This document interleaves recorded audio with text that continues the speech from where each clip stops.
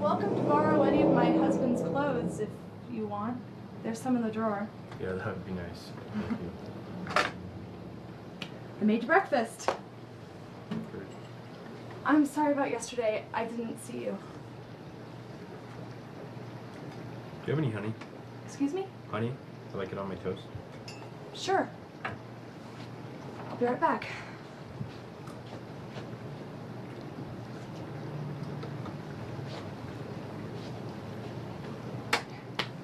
Thank you. My husband's still asleep. So you guys new to the area? Yeah, we just bought the place. It was in foreclosure, so we got it really cheap. It's taken me a while to get used to it, but I love it here. We're city people for the most part. My husband's in real estate, so he got a great deal on the cabin from one of his colleagues. Uh, I don't suppose you live around here? I used to. Where do you live now? Around.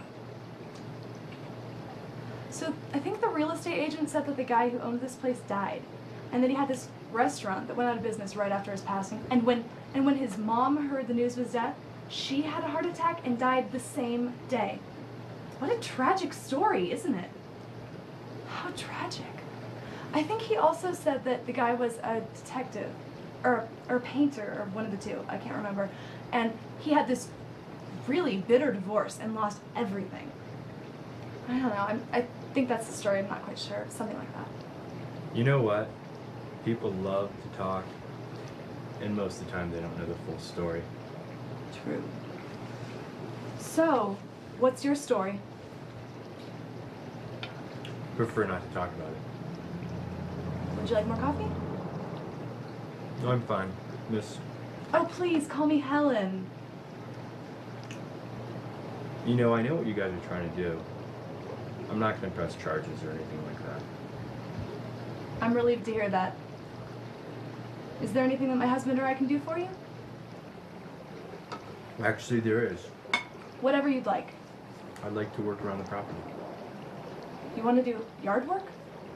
Or just simple maintenance. Well, the only problem is we can't afford that right now. I'd work for free.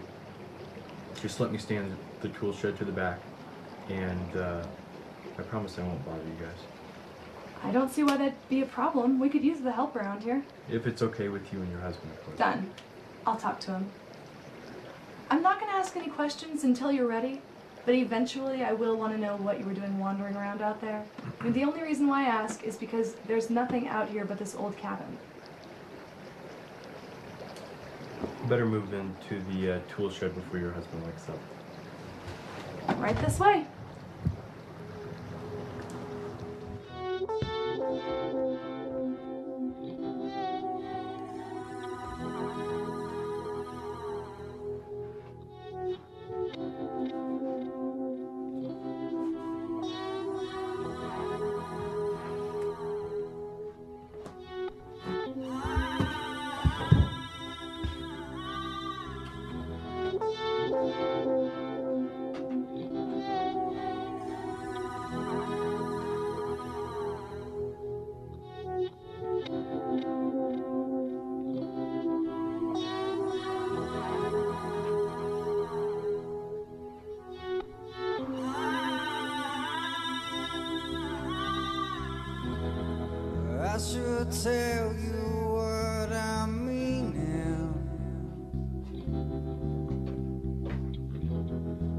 I should give you I go.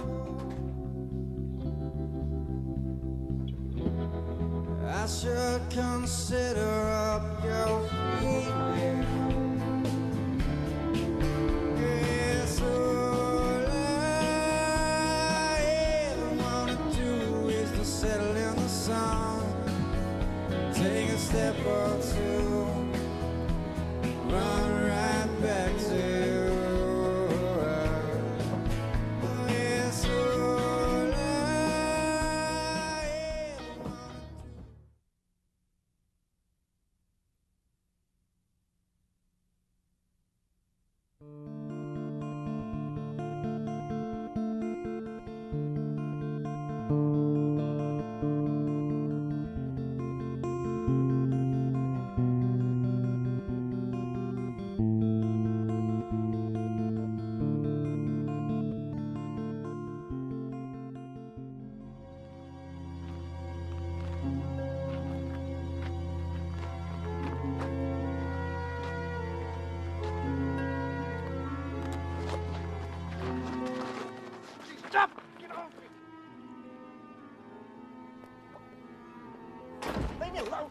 you? What are you doing on my property?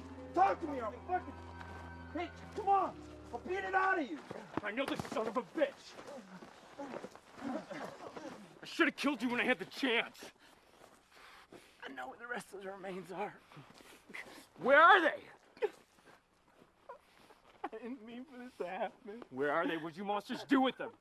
Let's take them to the tool shed. What's going on in here? Who's this? Mark, what's going on? Helen, you were right. Somebody died. Anthony used to live here with his lover and he was brutally murdered. What are you planning on doing with him? He's Gonna show us where they hid Adam's body. The police closed the case because of lack of evidence, but they, they couldn't find the body, so they couldn't charge anyone.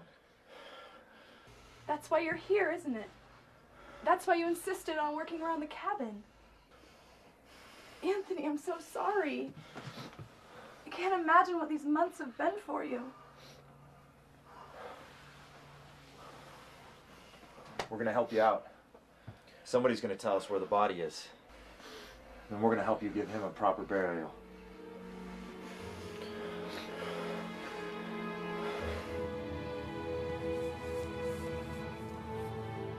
I'm sorry.